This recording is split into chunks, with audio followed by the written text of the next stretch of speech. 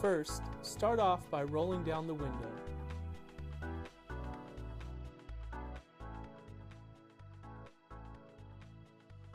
Next, grab the cleaning wipe, open, and clean the areas in which the visor will be applied.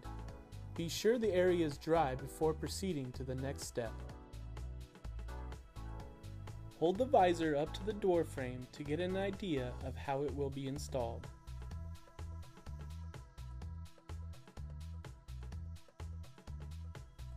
Now, peel back about 2 inches of each side of the adhesive strip.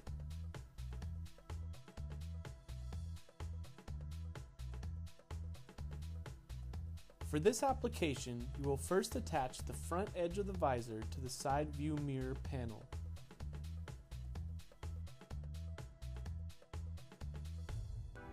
Now, line up the edge of the visor with the edge of the door frame. We will apply pressure to the adhesive strip while slowly peeling back the red tape. Be sure to take your time with this step.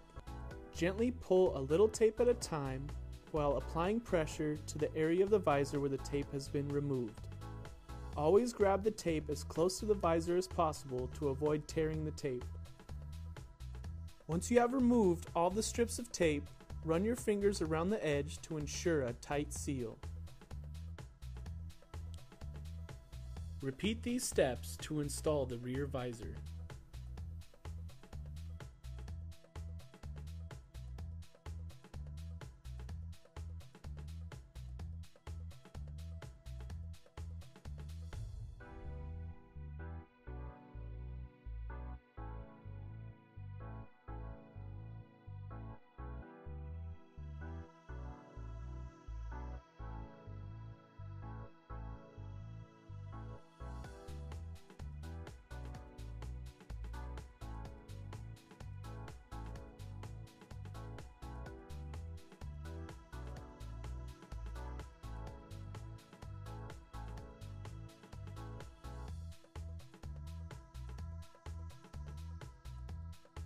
Follow the same procedures to install the visors on the other side of the vehicle.